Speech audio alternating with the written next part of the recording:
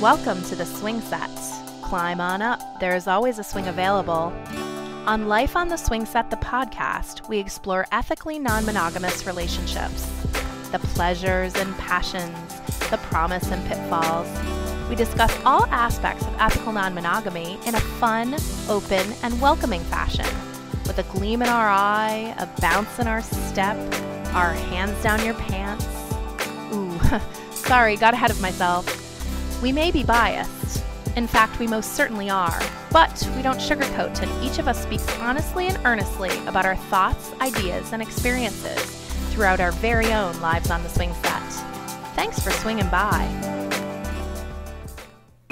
Hi, Swing Set fans. We love you. We love our listeners. We love that you engage us on Twitter at hashtag SSPodcast and on our personal Twitter accounts, but we're greedy and we'd like your help engaging more listeners and more communities.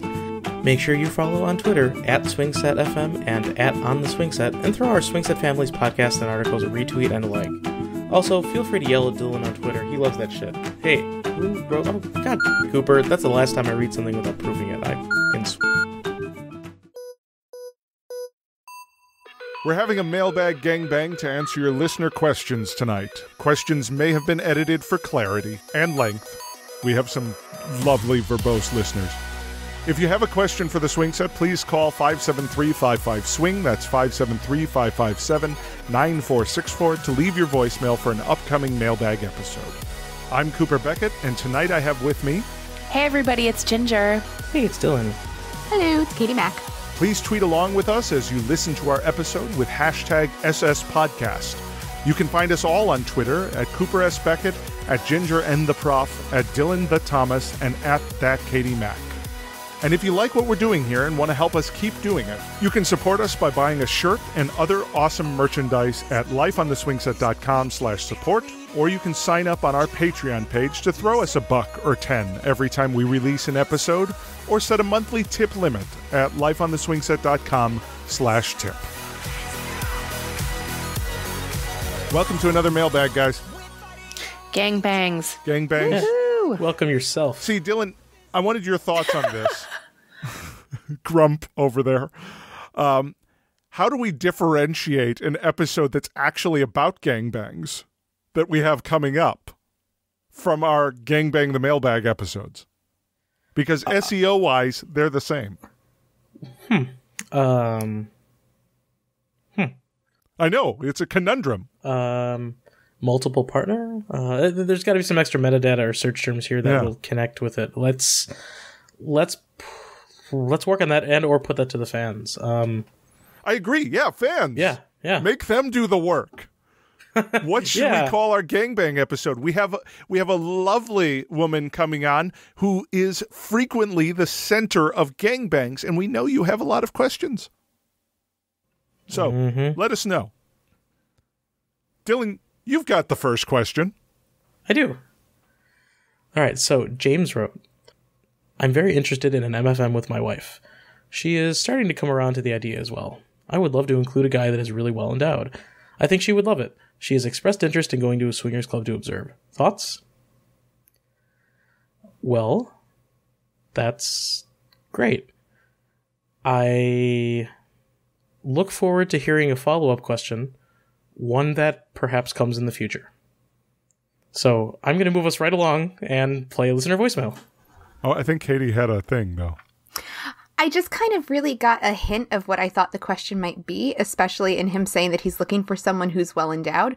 And I'm just going to quickly say that I don't know that you can screen by dick length, but I would recommend a shirt that says you must be this long to ride. Perfect. And we're moving on. No, uh, hold on. Uh, if we're going to treat the question Okay. seriously, All right, Uh, we'll give it the, the respect it I know may not on deserve, Kasidie but, you can know. search by by terms used in the profile, and I know people with big dicks like to talk about it. So especially dudes into MFMs. I know people with little dicks who like to talk about having big dicks. i- i- if if you search just the letter, the number seven and the inch sign, the number eight and the inch sign, I You think you'll probably find it. Or not parentheses. Oh god. Um.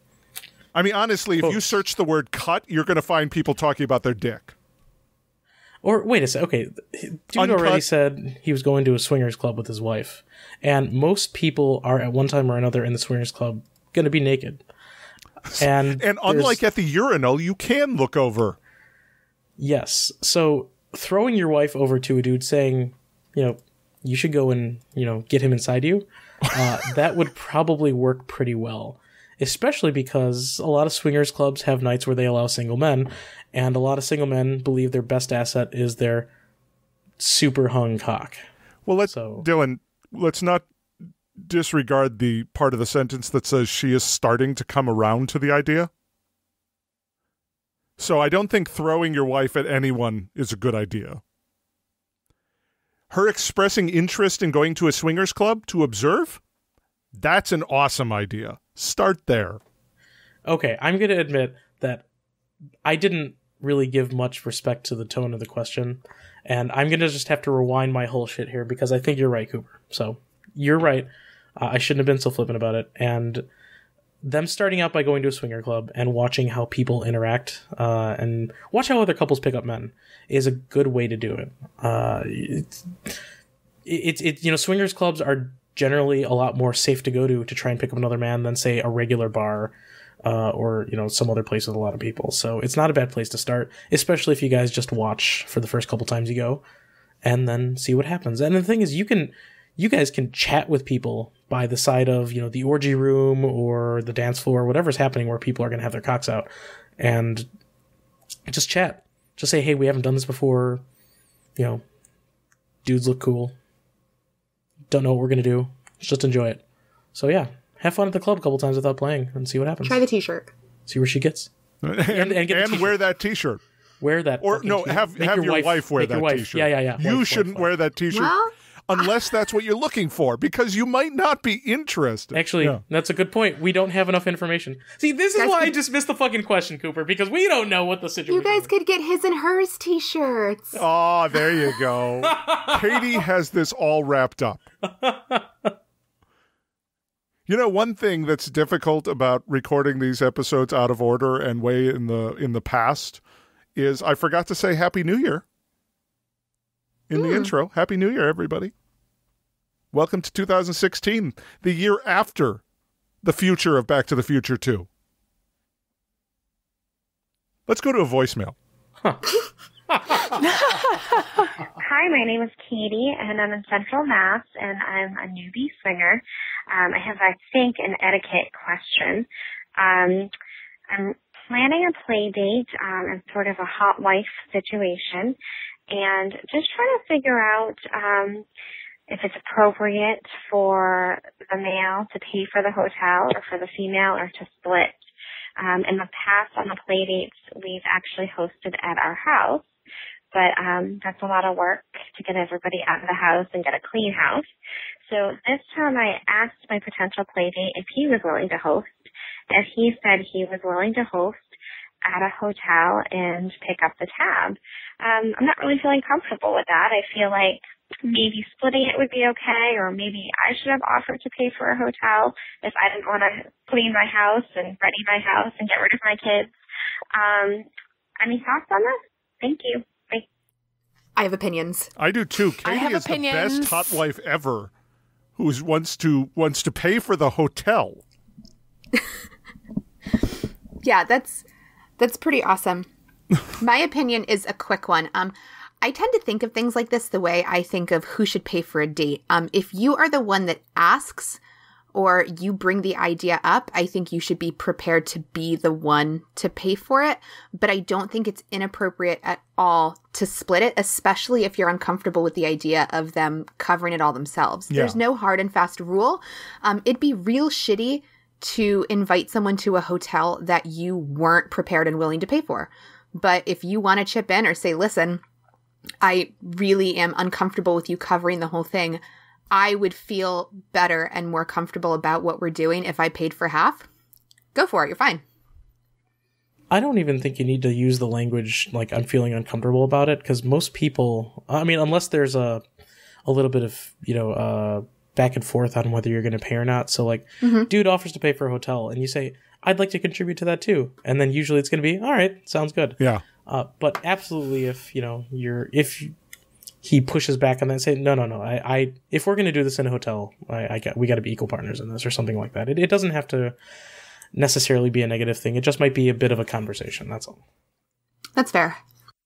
I feel like a couple of things. First of all, I think if anyone, it doesn't matter who it is, if it's a couple, if it's, you know, anyone, the the men, the women, the like you know, whatever works, like whoever's offering to host and pay, then I kind of feel like okay, they're offering to host and pay. Like the, Yeah. that's face value communication. So, and I've been in those shoes before. And they may like, no, expect is- something, but you are getting together for a hot wife date. well, and I don't I don't know about the expect something though. Like I I try to think the best of people and if someone's offering dinner, a date, to buy your drink, to pay for the hotel room, I feel like being able to accept that with grace is a cool thing. And agreed, like there's, there's this sort of overlay that is this, if someone pays for something, you owe them something. But I just, I feel like if you're going into a circumstance where you're going to have this sexy time with this person, then maybe you can get past that before you even get there. So I guess this is how I think of it. If someone offers to host, let them host and say, thank you. That's very gracious of you. The hotel room is probably $150 or 200, whatever. Are you sure that that works for you? And if they say yes, then let them host you. I mean, it, it, if you were going to host at your house and they need to host at a hotel, that's on them. If you feel like you need to split it, then don't ask or hem and haw. Just say, I'll feel more comfortable splitting the hotel room. How much does it cost? I will bring you some cash. Like, say it all ahead of time. There's nothing more awkward than having super sexy times, whether you're hosting an orgy or you're in a swap situation or it's just two people and you get to the end and you had all of these orgasms and you're in sex brain and then you're trying to figure out and do like fucking restaurant math. Like seriously? Like no. Do it all ahead of time, do the adulting, figure it out and then have the decks cleared for the sexy time. And and I also just feel like it, it, it comes down to get what you want out of the deal in the sense of if you want to pay half, then pay half because you feel better about that. None of, none of your sexy times should be distracted by who's paying for what. That should be finished, all set ahead of time. Then you get to have the sexy times without having the distraction of figuring out if you have enough cash in your purse to pay for the hotel room. Dylan, you want to cue up the next voicemail? yes i do Hi, Swing Set. So we're a young couple in Florida, and we love your show. Um, I wanted to thank you for sharing your life and growth with us. Um, but we've been swingers for a year now, and listening to the podcast, we've discovered that my partner might be poly, but I am not. Um, I love having sex with lots of awesome people, but as far as outside relationships, I'm not there yet. Not to say I never will be, but today I'm not comfortable with either of us dating other people. Um, even when we play with others, we're involved somehow, whether we're all playing together or we're watching or whatever. So my question is, how do I deal with all of this? Thanks for listening. I feel like there's a, a really difficult area in this question, and it's something that has come up a lot outside swing set, but I don't believe we've ever talked about it on. And that's whether you can, you know, like you are gay, straight, bi, you are those things. The question is, are you non monogamous or is it something you do? but but but That's my feel like- question for the panel. can- go pink power ranger Oh, I want to be the Pink Power Ranger. You are. Um, no, he said go, Pink Power Ranger. Yes. Okay. So I think that they're already some kind of non monogamous because they're swinging. Yeah. So yeah, absolutely. I think that there are there's a separation to be made between non-monogamy as an an identity and an orientation versus non-monogamy as a skill set. And I think it's a really interesting debate. You know, personally for me, I feel like non-monogamy or non-monogamous is something that you just kind of are. I think that because that feels true for me. Somebody else mm-hmm. could feel differently, and that's totally fucking fine. But to kind of like piggyback off of that into what I was thinking about in regards to her question specifically, is if you are some kind of non monogamous, I think that maybe the rest of it can be viewed in a mild sense as a skill set in the way that you can see a sport or An expansion activity pack. as a skill set or an expansion pack. Listen, I can go through all of the training and drills and I can be coached, but I might never excel at football.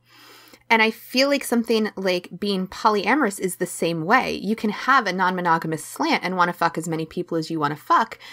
And if you want to get to a place where polyamory is something that you're either comfortable with or excel at, there are avenues to explore that. But it has to be something that you actually want rather than just trying to correct the discord between somewhere your partner is and where you are. That's, I think, going to get more murky. Um, but does does that make sense to everybody else? Before I like, No, I Yeah, yeah. I that- agree that fully. Totally makes sense. Do you want to continue or do you want us to chime in? um, chime in because I don't want to filibuster. Well, I'll I'll just uh, I'll be quick because I don't want to either. I I feel like you can be open to a range of things, right? So you know we we all we all come up with a lot of the same skill set going through non monogamy, but you can be open to some level of casual sex and some level of uh, multiple relationships, but it doesn't mean that you have to connect with one other person in that way, and it doesn't necessarily mean like it. Uh, okay, so I, I know what we're talking about here, and I know it's like, well, are you wired to be poly? Are you wired to be swinger? And would you be satisfied only being one or the other, or you know somewhere in between if you really wanted to do one more than the other? And I I, I want to say I want to I want to put a stake in the ground and say eventually you'll you as individuals want to get to the point where you're practicing your relationships the way that you want. yeah. And so you've got a bit of a mismatch right now, but that's not a huge deal. At least as long as you acknowledge that there's you know there there's a mismatch.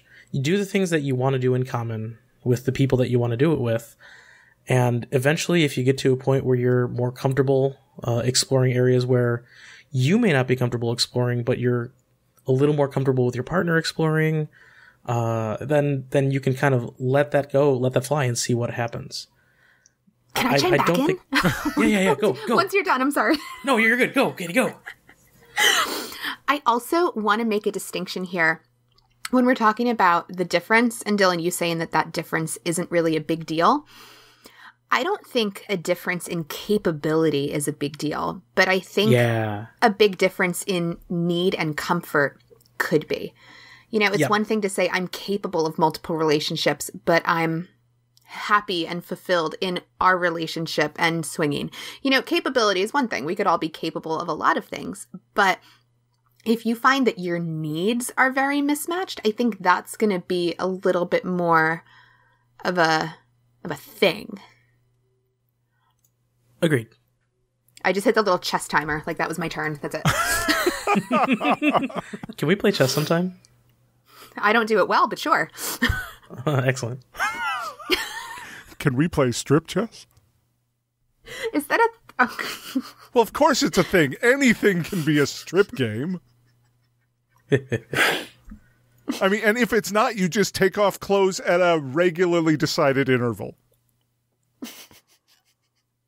You have a timer every three and a half minutes. It dings. Yeah.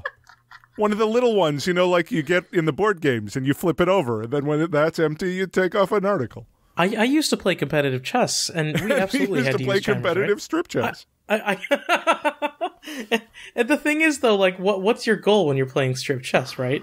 Do you want to get to the point where you're- Distraction, Dylan. No, no, I, I- I feel like, well, okay, distraction And winning. because you ultimately want to win. But I think there's there are a couple different victory conditions for winning, right? you you want to end up with yourself mostly naked and the other person all the way naked, so that you have the best chance of interesting things happen. I think because or you know you purposely so so you don't go for the stranglehold win. You don't back somebody into a corner while protecting all your pieces and then all of a sudden you know checkmate them and then all of a sudden they're completely naked and you've lost a scarf uh, no you want to you want to kind of pace yourself and and really play the sacrifice game and and really goad people into getting into a position where you then nail them to the fucking wall but you're already mostly naked by that time and and then after you nail them to the wall in the game you can you know pick them up throw them against a wall and nail them to the wall. And you're because you're already mostly naked, you just pull out your cock and then all of a sudden you're ready to go. We should do strip chess soon. Gabe. Clearly, Dylan has thought this through. I really didn't, but I do. I want to know. Remember that gavel from the last episode that I wanted? Uh, Okay, I'll I'll take us there. Ginger, would you ask the next question? Will I ask the next Will you read the next question? question? You don't have to just ask a question. I was going to say, what question do you want me to ask? I have so many questions. All right. Hey, Swingset friends. I'm going to interrupt Ginger and read the question for her. Uh, her recording setup failed for a moment, so you don't want to hear what actually came through. So just pretend I'm as sexy and sultry as Ginger for a moment, and here goes. Would a guy give me a warning that he was going to ejaculate during a blowjob? My husband says yes, that it would be rude not to warn the girl. I also understand accidents can happen.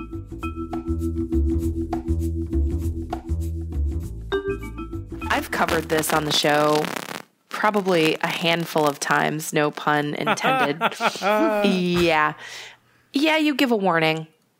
You give a warning. You give a warning. It's not like throwing a glass of water in a bad date's face. It's it's it's you're you're coming in her mouth. You you tap her on the shoulder, you gently stroke her cheek, you grab her hair harder, whatever you've got to do to indicate that you are going to come in her throat, on her face, on her tits, or somewhere you're not quite sure where it's going to land, you give her the high sign. I'm just saying. Where do you want it, baby? There you go. That's a sexy question. Mm-hmm.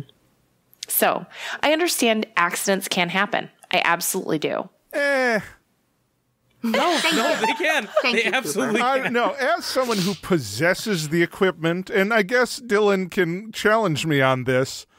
Uh, it's it's sometimes surprising how at what time it arrives, but it has never arrived so suddenly for me that I couldn't tap someone. And also, you can have that fucking conversation before cocks go in mouths. Listen, all I'm saying is you have the time to scream now. Okay. Yes. Yes. So, yes, Yes. yes, yes, to that. Like, he, he, he- I, I Dylan, have, tell us how you were surprised by coming.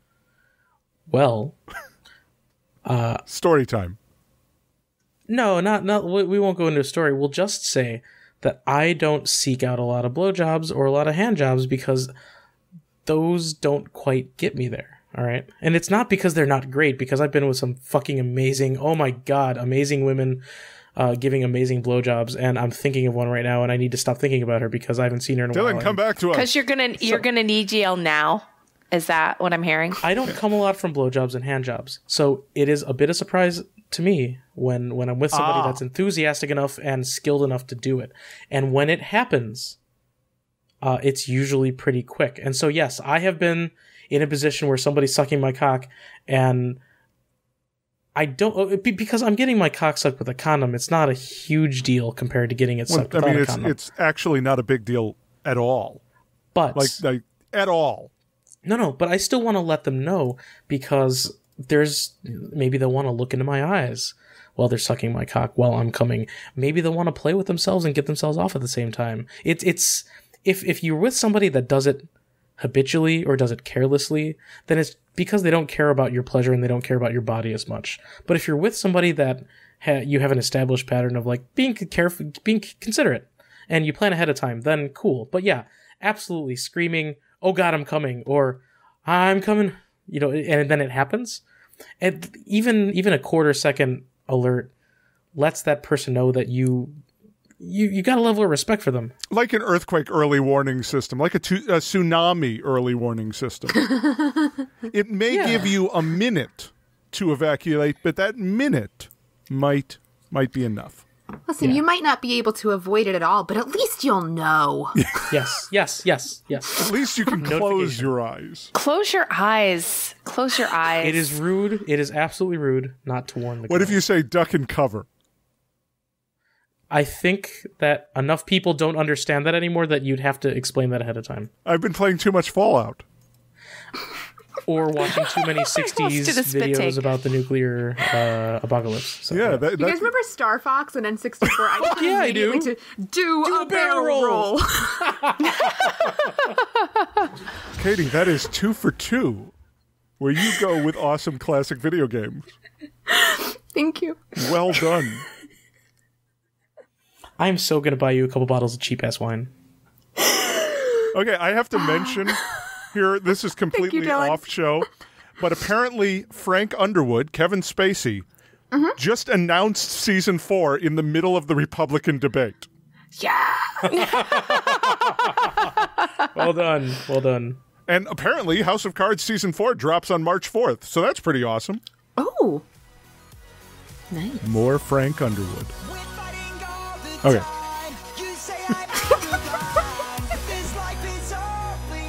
So we're going to take a commercial break and we'll be back with more listener questions.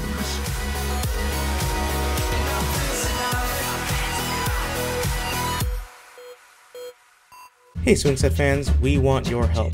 We're searching near, far, long, short, and wide for opportunities to bring our message and our passion to the people, possibly live, but definitely direct. If you know of an event or a space near you that may be interested in having the swing set out, let us know. Send us information at contact at lifeontheswingset.com. Thanks.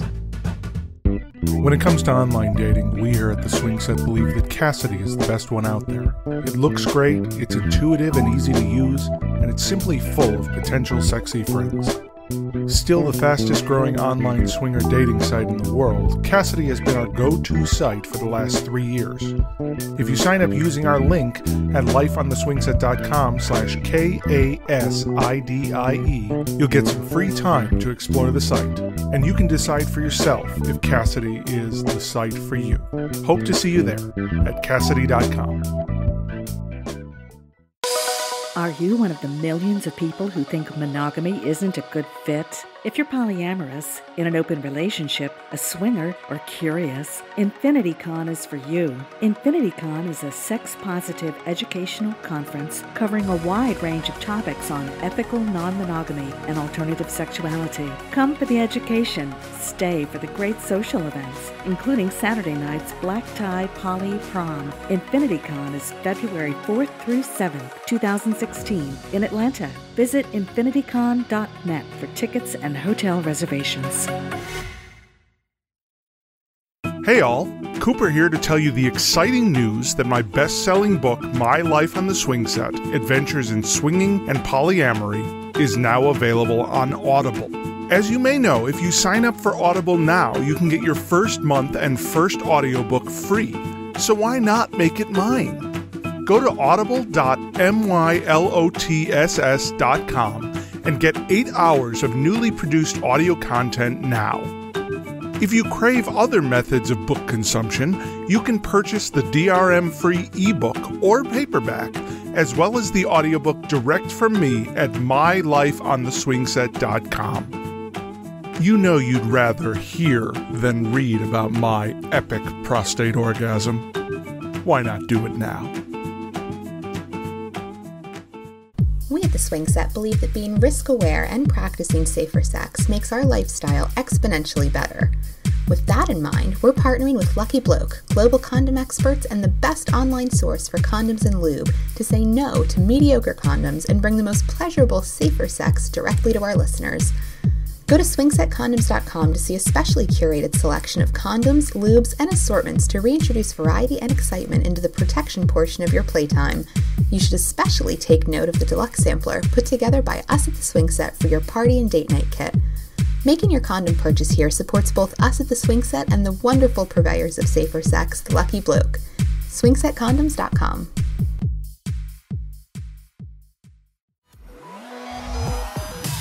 Welcome back to Life on the Swingset. Tonight we're doing a listener mailbag, and Katie has our next listener question. This question is My wife and I are new to the lifestyle. We've only been to three events. The most recent was a hotel takeover. Neither of us had played at any of the events until the takeover. We were invited to a room where there was group play. My wife was invited to play with the host's wife and had a great time. Everyone in the room made her feel welcome. They would have all played with her if given the chance. I expected to be included as well. Oh, oh, okay.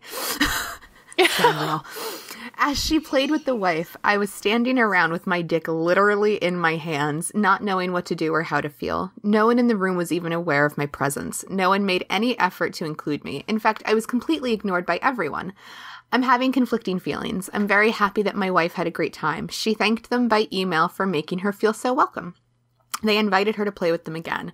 I'm resisting the strong urge to let them know that my experience was the complete opposite. I don't want to cause drama, but I don't want to interact with them at all. Am I just being a baby or a jerk about this? All right. Yes. I No. Well, No, yes, because. No. okay. Because. Go, Katie. Well, we- We'll all get a chance. But yes, because people were very unlikely ignoring him. Very unlikely. Far more likely is he was doing what I usually do, which is not saying anything to anybody. And you know who's less uh, attractive at the orgy than the person sitting in the corner looking unapproachable? No one. That's who. You need to approach people. Okay, go on. Okay, if I might try to bring a little more nuance and a little bit less, this is probably what happened to the table. Cooper, I love you. And I'm not even saying that you're wrong, Coop. I I don't think that you're being a baby or a jerk about it. I think that you're being new about it. Very true.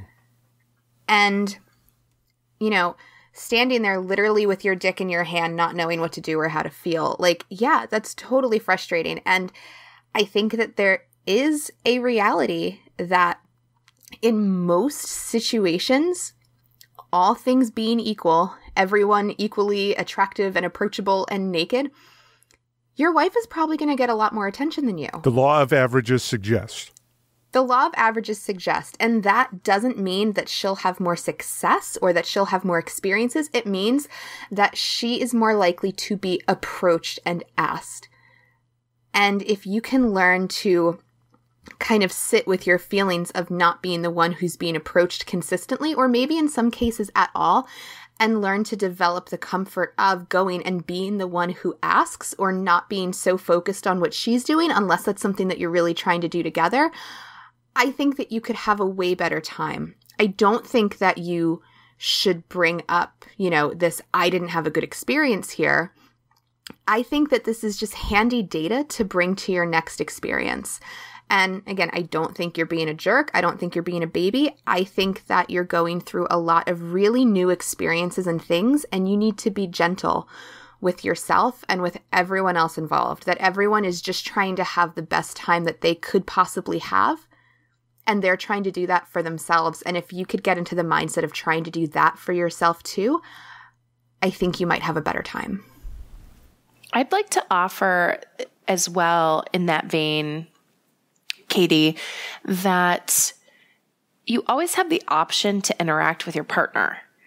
And so if you're standing in the corner or standing on the wall or whatever with your dick in your hands, which is actually pretty sexy, um, you know, to, So to go watch. to a, go to an orgy with Ginger there, well, there's that.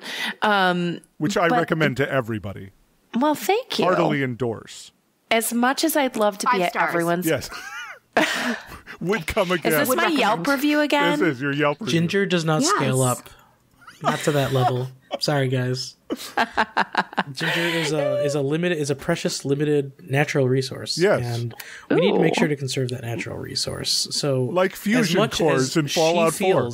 Well, she feels like she has a lim- an unlimited amount of energy and an unlimited capacity. The fact is, uh, we need to protect Ginger from herself and let her know that she she just needs to fit as many people as possible into a limited amount of time and then take the rest of let's say the week off. Okay. Well, thank you. I love that you're protecting me from myself because if there's anything, if there's ever been a kernel of truth in my existence, it's been that and it's happened on the podcast, which is amazing. So I'm just going to say thank you, Dylan, for that. I'm like, I just realized I was a little bit of a jerk in there too. no, no, no. That's okay. That's okay. I can I'm take explaining it. to you what your limits are. That's great. That's a great I got position for me to this. Dylan, take as a man. Dylan, you're mansplaining.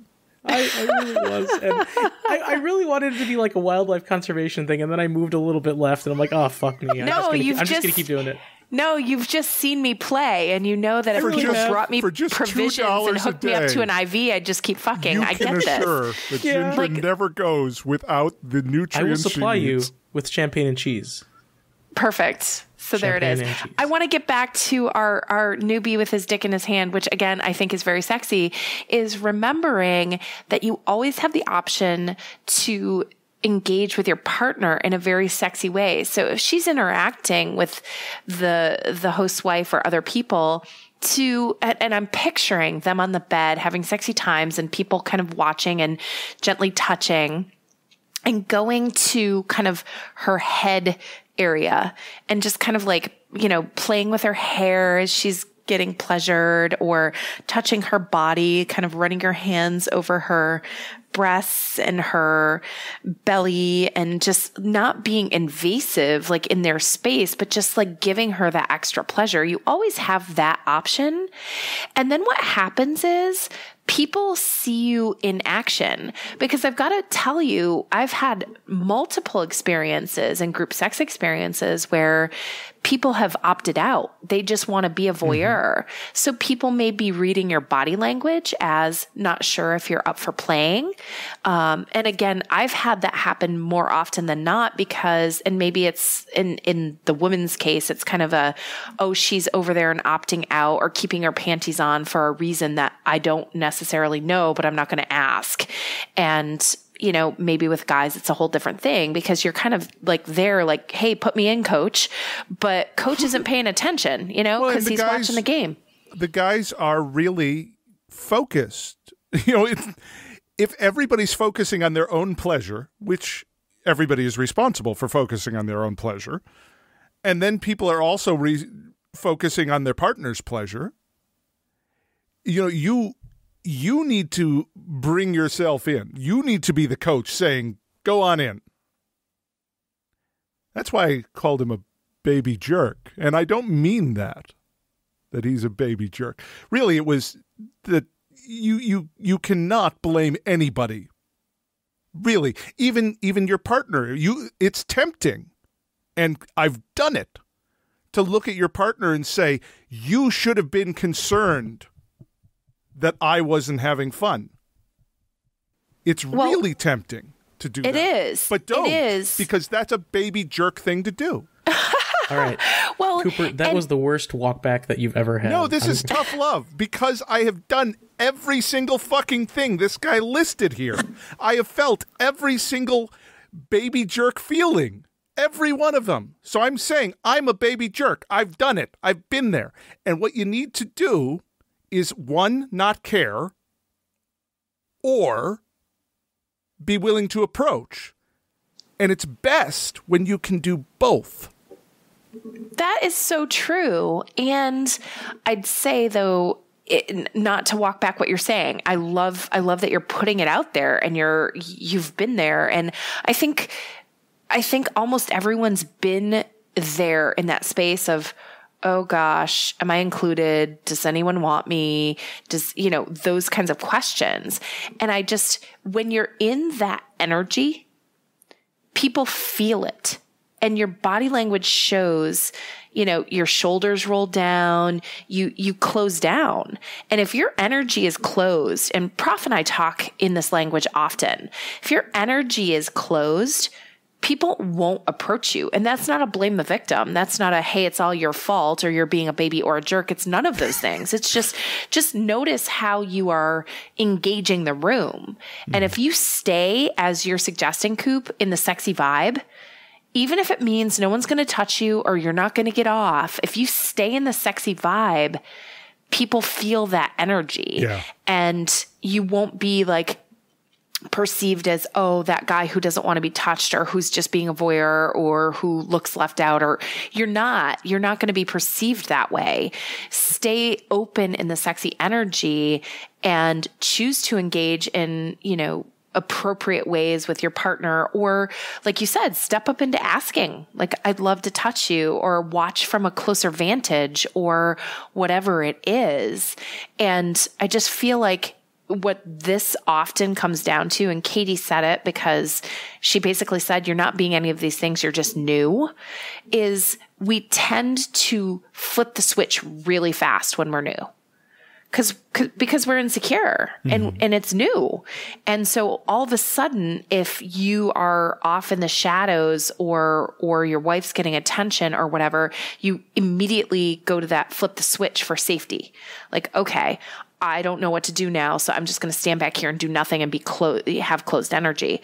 What I encourage people to do is just kind of be soft and fluid and relaxed and not flip any kind of switch. Just be in the sexy vibe and and see what happens. And again, not with the expectation, which I think is an important word to raise here not with the expectation that you'll always be included, but with, but giving off the energy that you'd like to be included or proposition someone when you feel less new. But there's there's a lot of pitfalls that that can happen in this scenario and it really is up to you how you want to continue to engage.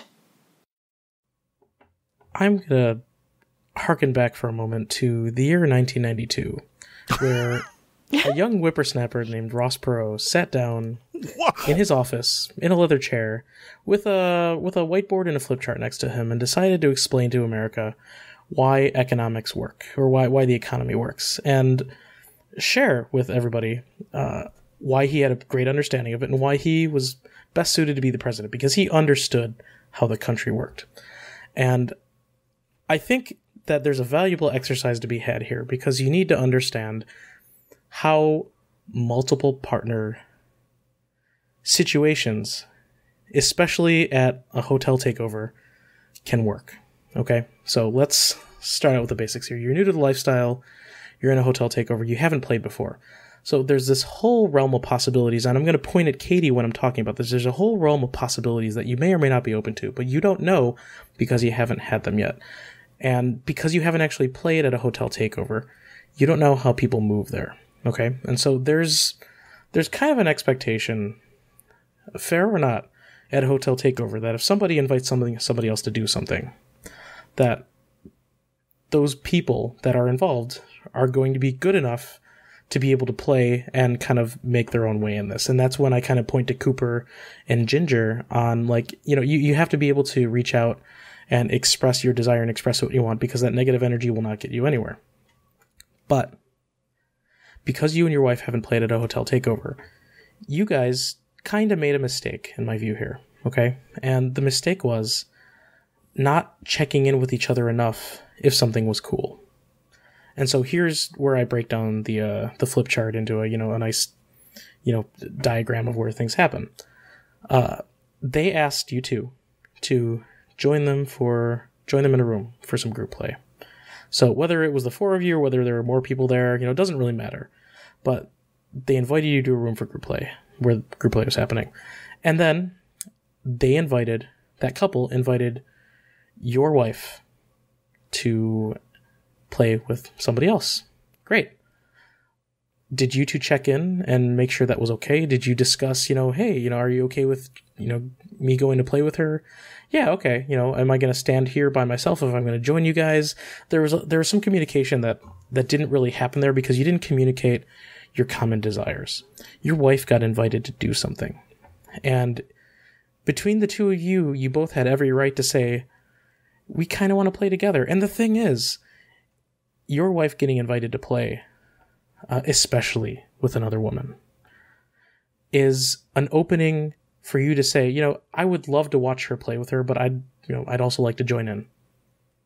And that that kind of call and response protocol that can happen in those moments when you're you're, you're swingers are fucking great at negotiating things at light speed unless they're not because they haven't figured out how to do it yet or because they haven't been shown the ropes. Uh, and that's what's happening here. You're negotiating your your plaything. Your your plaything. Fuck me.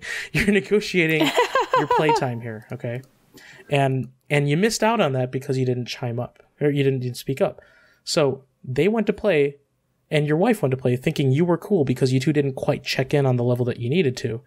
And then when you realized, you know, I want a little more, you didn't have the tool set necessary to know whether you could interrupt them or not. And the thing is, like, I, I don't mean like interrupt, hey, I want in, you know, hey, I want you guys to stop. I mean, you can use some of the strategies that Coop and Jin mentioned uh, to, you know, whether you check in, whether you try to join in, whatever it is. Everybody's focused on everybody in the thing right there. But it is not hard for you to go over there and say, I'd love to join in, or go behind your wife and take a little bit of a liberty with your wife.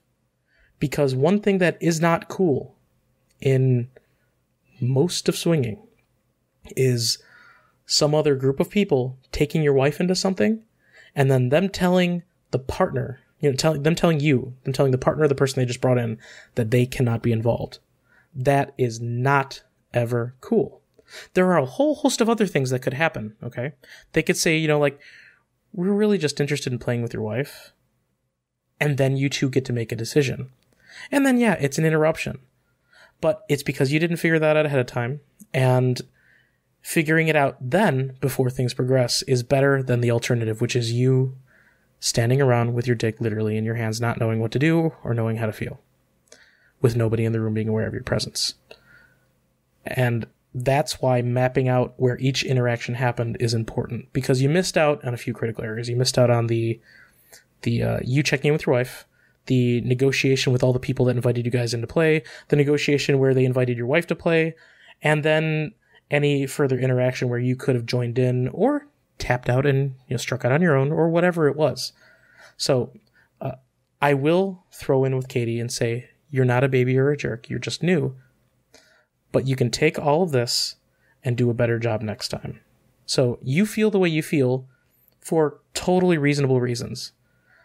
Just understand that you both, your wife and you, kind of collectively did it to yourselves, but that it's nobody's fault.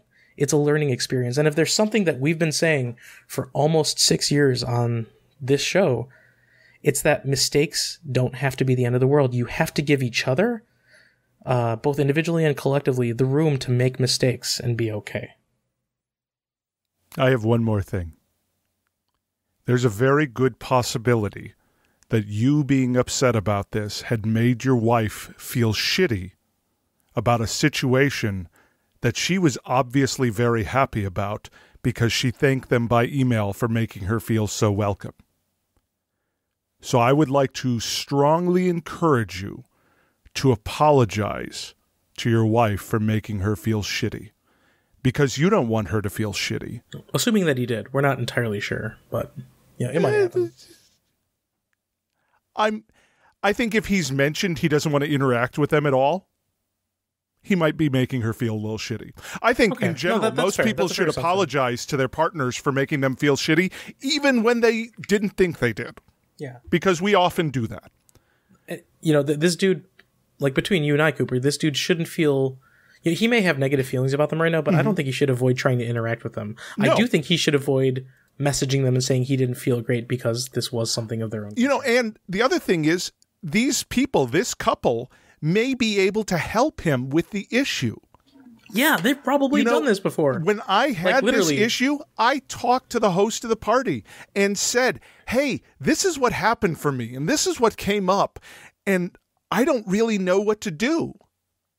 And the host of the party laid out a whole bunch of solutions on how to process the party. We host stuff all the time and we make ourselves available Yeah. to be talked to by other people. That's what they're there for. So And you know Um, who else is just new? Babies. and you know what happens? Babies grow up. And so I'm encouraging you to grow up. you really, really sticking to that baby jerk thing. Hey, he asked. It's So, really, listeners, what we've learned today is don't ask the question, even hypothetically, if you are a baby or a jerk. because Cooper will always say yes, you are. Well, because usually it means you know that something you just wrote in that email makes you sound like a baby and or a jerk. Hey, I, I think we can pretty confidently say that we understood what happened with this dude. Absolutely. We've been there, and you know what? He now ha- we've laid out a whole shitload of tools to make sure this doesn't happen in the future, and have a fucking good time fucking in a fucking party. Yes. So- And from one baby jerk to another, Jesus Christ! You can do it. I think I'm just gonna bleep that out. No, that's important. Isn't it the most important thing in the world when you feel like you're doing something wrong to know that someone else did that wrong? All right, since we're going here, I yes, but I think you're going way past that, and you're actually belittling him. I know he asked the question, right? Are, But are you kidding? No, uh, I know. Me no, no. saying specifically that I am you and I grew out of it using the words that he threw out means it can be done, Dylan. I am in no way belittling this listener. I know no exactly way. what you're trying to do, and while we may choose different language to do it, I'm right there with you, bro. So how about I read the next question? Please. All right. So, is there a solution to simultaneously stimulating the G spot for them and the P spot for me at the same time during pegging without extensively limiting possible sex positions? Multiple people have had problems with Feeldoes falling out while doing any position other than them laying on their back with their legs closed.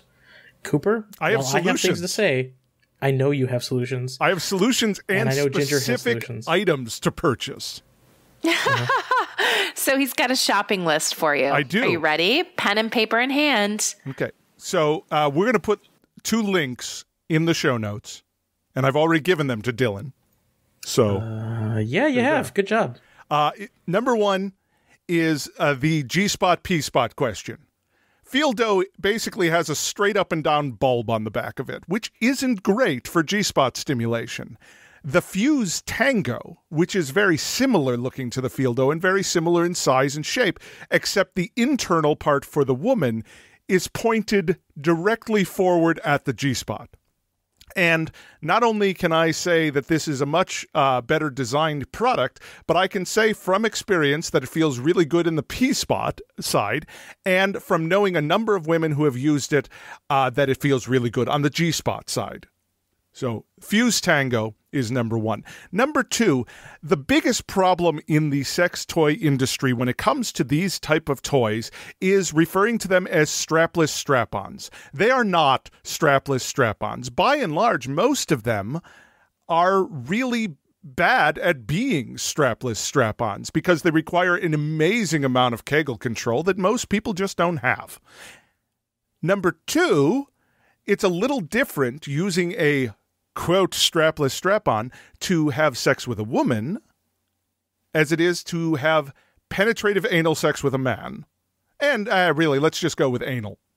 Right. I was going to say, yeah. So it requires a little bit more control. And the best way to have more control is with a harness. So while it may seem like a strapless strap on, really you should be calling it a dual ended dildo. And using it with a harness, and the harness has to be one of the kind that have a pass through panel, really increases dramatically the control. Now, if your partner wants to have less, you know, strappy strap on experience, Um, my partner Ophelia loves the rodeo uh, briefs harness. They look just like um, uh, boys' briefs. They and they have a pass through in the front, so you slide the dual dildo through and insert it. And she says they're incredibly comfortable and they wash in the washing machine. So the rodeo briefs and the Fuze Tango are my solution for your problem. And now I will cede the floor to anyone else. I don't know that I have much to add to that other than you know there is definitely some experimentation that needs to happen and you know ultimately i i can't um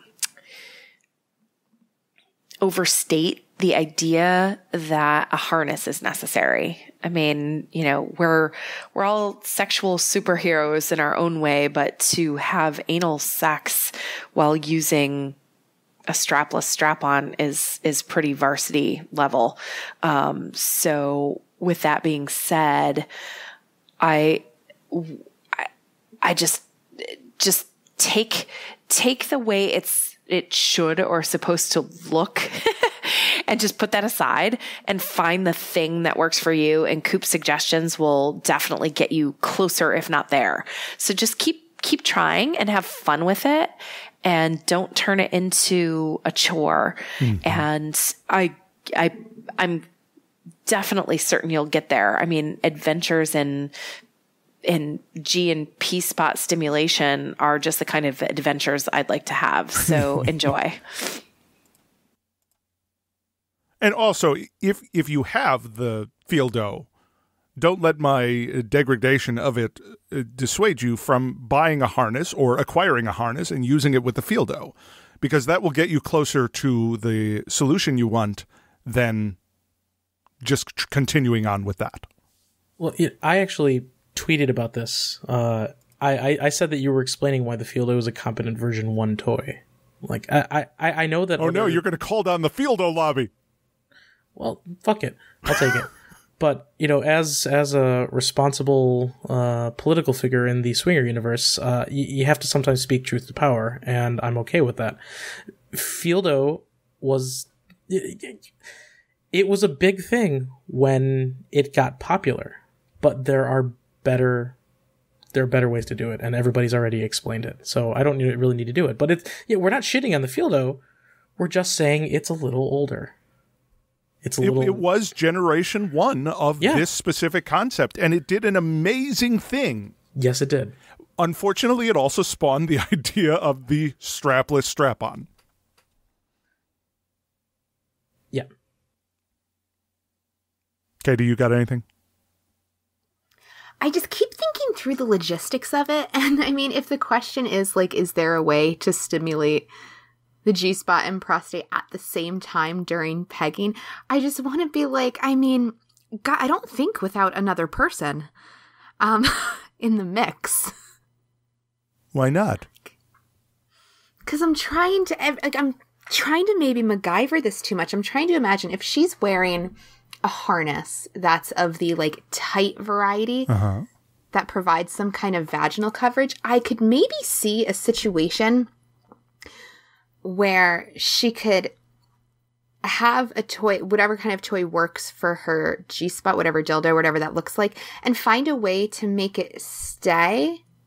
Oh, Katie, have well, you know what I'm recommending, right? The dildo I'm recommending.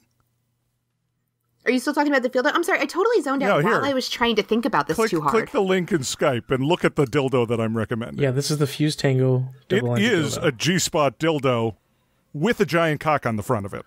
That well, link doesn't work. I... You added an extra zero at the end, by the way. what? I just see a really scared looking pickle. Yeah, here here's a better link. Cooper Cooper failed at cut oh, shit.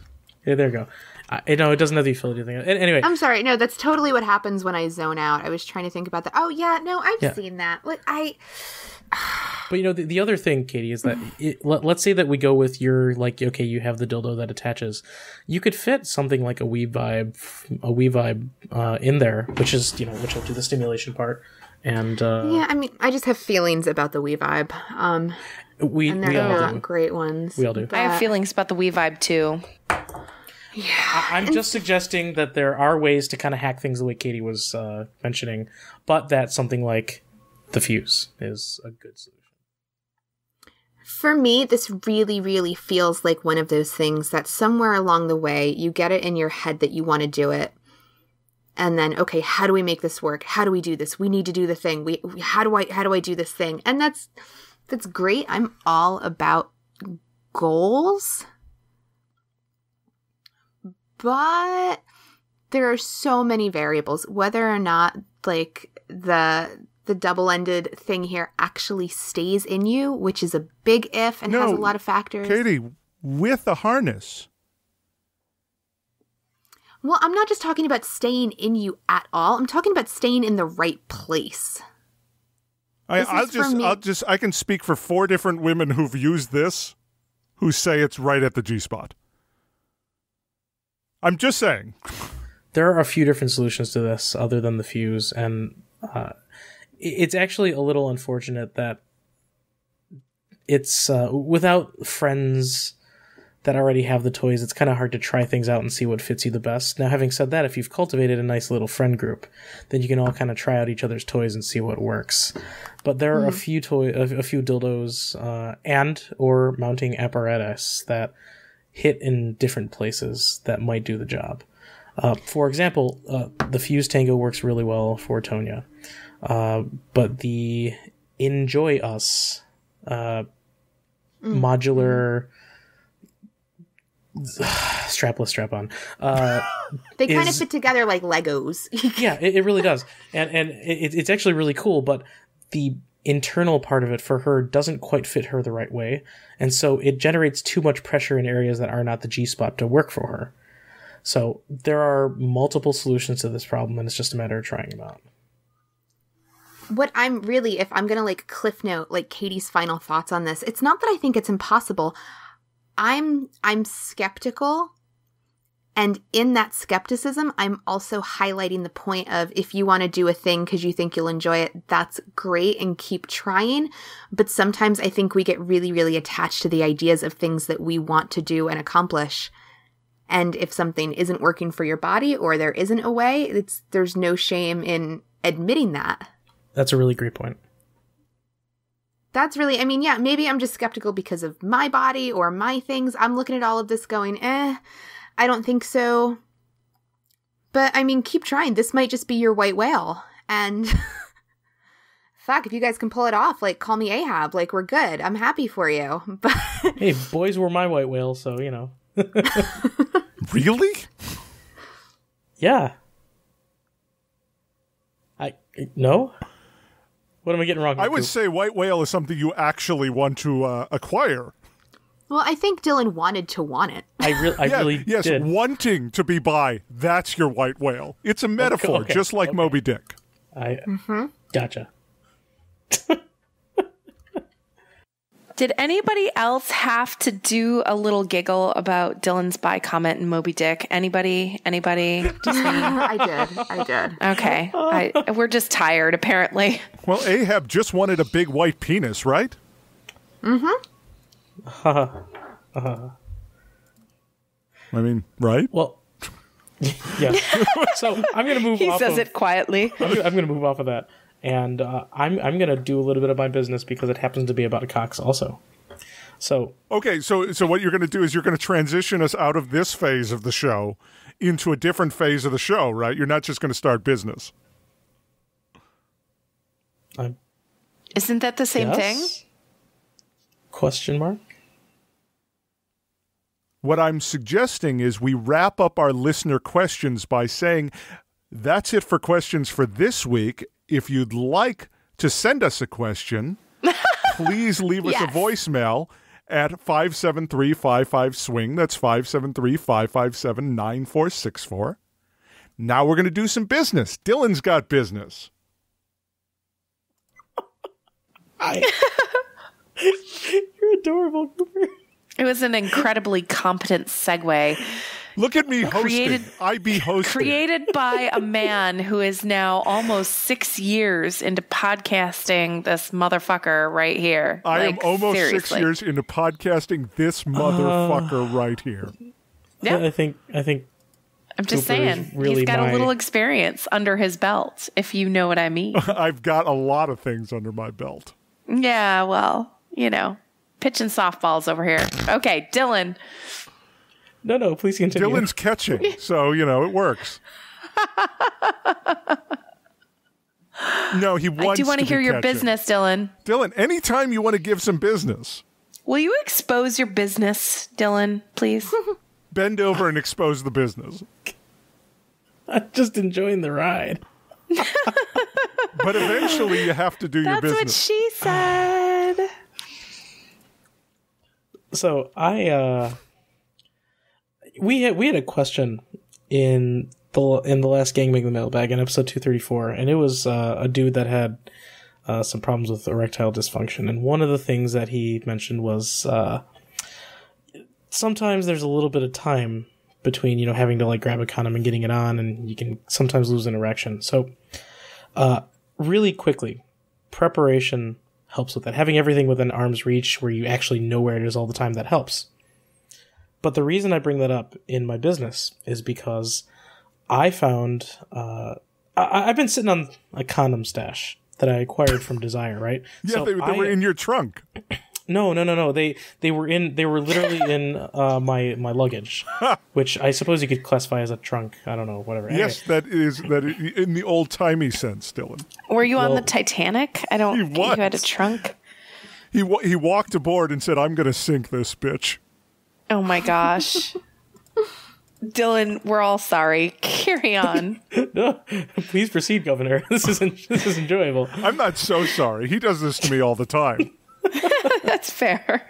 So I bring up the preparation thing because equipment's also important, and I found that one of the things that I brought home from Desire was a new uh, a new condom that I hadn't tried before. It's the Unique Pull. Okay, now I have found an awesome set of condoms that I really enjoy, uh, but they all still have uh, kind of the same problem. Whereas, uh, you know, let's say I'm not super hard at the moment. Uh, I, I really need to wait until I'm fully erect to get one of those condoms on because if I don't, I will roll that condom right off through my natural uh, inflation. So, uh, and even when I am fully erect, if I'm really rushed in the moment or just want to get it on, or if somebody wants to put a condom on me, uh, if they don't do it right, I will have to take the time to pull it back off and put it back on. And when I say do it right, I mean leaving the appropriate amount of room between the top of the condom and the top of my cock, and getting the ring all the way back to the base of my cock where it will sit nicely and stay. And a lot, the big difference for me between condoms that are not great for me and condoms that are is whether, number one, how hard it is to get the ring back. And number two, uh, whether it will stay when I get it back. I mean, it's it's not like I have a, a cone for a cock or anything. It's just for some reason, it That It- it- that is it's- possibly Dylan the best thing you have ever said. it's I mean, not that I, I, I think I think I'm going to call it.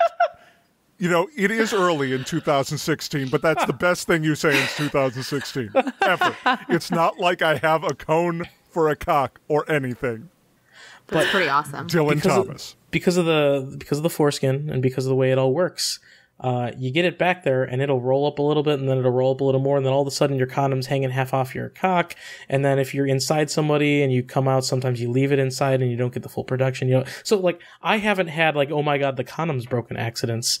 I have within the last year had a oh hey the condom fell off accident and i've actually been fucking you basically unprotected and you know you take the appropriate actions after that to, to mitigate things. Not a not a huge deal you know because i usually play safe with everybody or i play safe with everybody. Stuff that happens after that. But that's the kind of stuff that makes either a lazy you know i've been lazy in putting that on or i let somebody else put it on or it wasn't a great condom. The unique pull apparently has solved all of those problems. Because uh, i described it on twitter as a ripcord for your cock. Okay, so it is a rolled up condom with a couple of plastic strips that stick out of it. And you hold the condom by the strips. and then you pull it down your cock. And there's no reason to try and leave any artificial room near the top of it because you're not, uh, unlike other condoms that try to grip you tightly to try and conform to your cock, this one doesn't really try to do that. Uh, it's it's got a little breathing room, and at least for me, and it it kind of sits around and acts more like a, a loose membrane but it has a really strong ring at the end. So let, let's say that this was a uh, this didn't have the strips. If I tried to apply this condom to myself, it would not work because the ring is tight enough that it would just not roll easily. Which again, sign of a bad a, a condom that was bad for me. But because I'm using the two plastic strips, it stretches that thing out and it does the rolling action for me. And then by the time I've pulled the plastic strips out because I have to keep pulling them off, I can't be lazy on it. It's already at the base of my cock. And because the ring is fairly tight, it's not going anywhere. And it also means the condom's fully deployed, which means it's got a little bit of room to grow during the motion. It does everything perfect for me. And because it's like a ripcord for my cock, it does it quickly. I can actually just go, and as long as my thumbs end up at the base of my cock, I've done a good job. So, that is a bit of a revolution for me. And it will be a little bit of a time saver for anybody that needs it. and I've now tried these with multiple women. And uh, other than the giggle factor of watching me go, you know, like, uh, it is, it's pretty spectacular. So uh, I, I usually, yeah, go ahead. I was just going to ask, and it looks like Dylan, they're they're um, non-latex. Yes. Yep. Yep. And um, which is important for me. So. Mm-hmm. It pretty Yay. much hits everything that I need. Uh, I'm. They are a little more expensive, but how many times have you had to like throw away a condom because you put it on the wrong way? Uh, and, you know, you touched the wrong side of it. So I was like, well, shit. Now I have to throw, so I grab another one, or you fucked it up, or you accidentally broke it, or something like that. This is pretty much gonna work every every time. So, uh, I I'm I'm a fan and we'll get a link for those up on the show notes as well. We we brought some to a party and everybody loved them. Yeah, I, like I I feel like I was just pimping a product, right? But I'm I'm kind of a it's really hard to win me over. If you believe in a product, there's nothing wrong with pimping it. I know. Especially I know. if it makes sex better. Yeah, yeah. For, I was gonna say for fuck's sake, like I mean, literally for fuck's sake. Yeah, yeah, no, like exactly. Dylan, for actually fuck, for, fuck's, sake. sake. I mean, yeah. it, actually feels really good too. I know I didn't focus on that, but it feels fucking good. So, yeah. So that was the business that you talked about earlier. Yeah. Okay.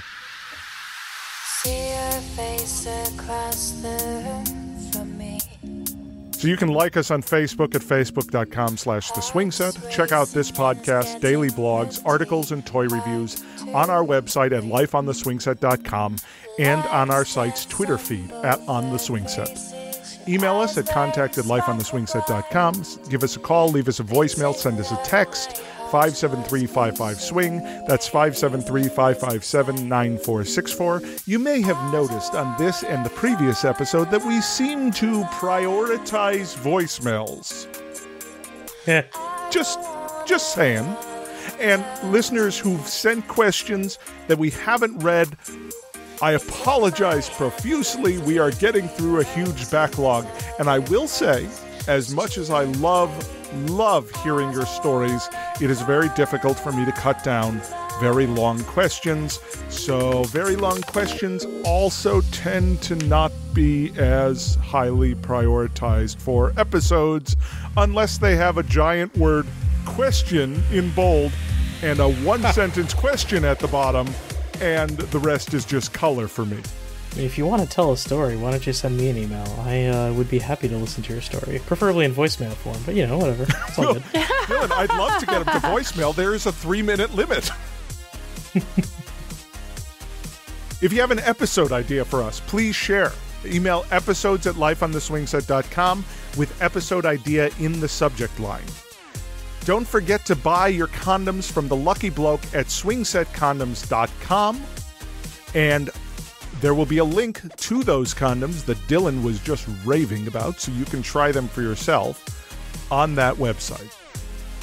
You can find our other great podcasts like the Gentle Pervert Social Club, Intellectual Foreplay, The Kinky Geeks, Eat the Rudecast, a damn good podcast about Twin Peaks, Sex Ed a Go Go, and Tell Me Something Good at swingset.fm. We are still holding a lonely vigil outside of Google's headquarters with giant signs that say, How do you like this explicit content, Google? Check out Katie Mack's other podcast, Carnalcopia, with Ashley Manta at thecarnalcopia.com. And finally, you can buy My Life on the Swing Set Adventures in Swinging and Polyamory as an ebook, paperback, or audiobook at mylifeontheswingset.com and pre order my novel, A Life Less Monogamous, and save 25% on the ebook or paperback at alifelessmonogamous.com. Happy New Year, everybody. Thanks for swinging by.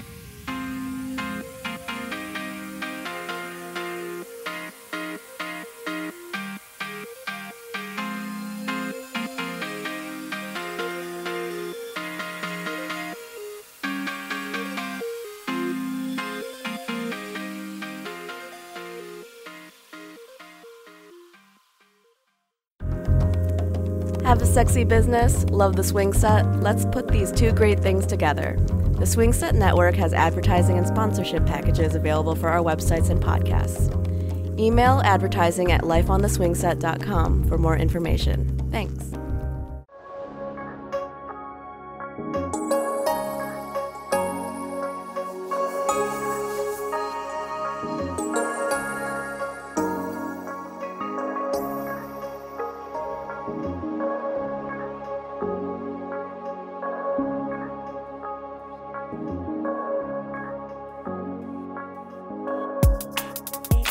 Love it when I- Ginger just giggles. I would on I would have so much respect if somebody just yelled do a barrel roll. Do a barrel roll. The, the funny thing is, if you're on your knees sucking a cock, doing a barrel roll is actually a fairly natural motion at that point because you kind of just like you don't even have to tip over that much. You just kind of give your knees out a little bit, and then you'll naturally. But you do a need to disengage from the cock because that would be sad and bad for the cock haver. Something I've always wanted to do and just haven't. If I know that the person I'm with is about to come, I've just always wanted to scream finish him. Yes. I, I've actually uh, yelled that in the middle of an orgy. yes. Nice. Yeah. That works really well in an orgy because it's a direction.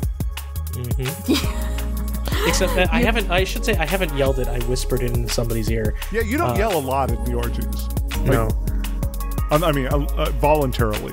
Well, I, I mean, you you might loudly moan Yeah. and or scream, but you don't really yell.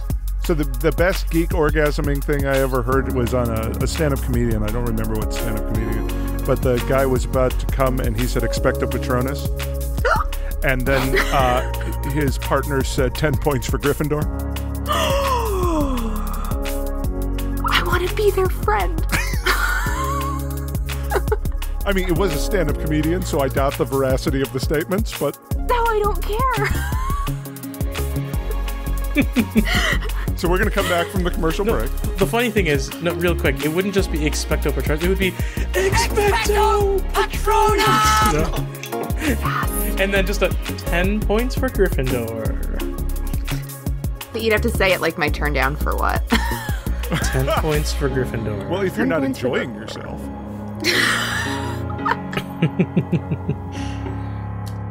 okay, we'll bring it back. yes.